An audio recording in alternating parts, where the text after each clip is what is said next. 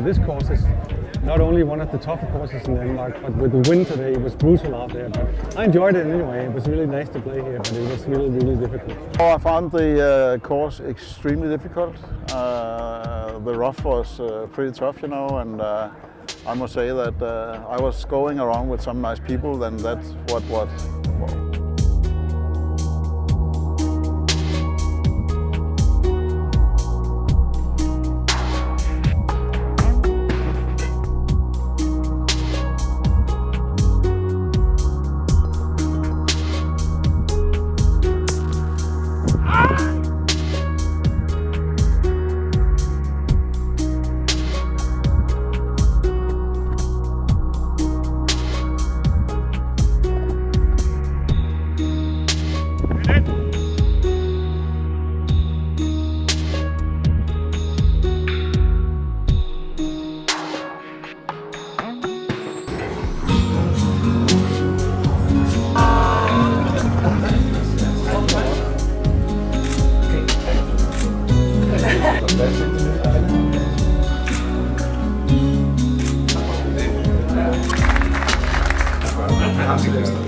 It's great.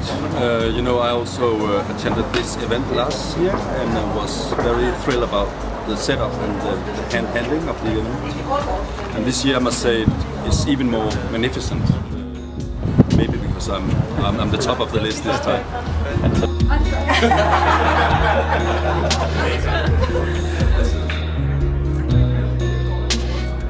It's fantastic. It's it's a very difficult course and it was extremely windy today. I, so with my play, I didn't believe I, I would win anything, but I kept it all together and it went okay in the end.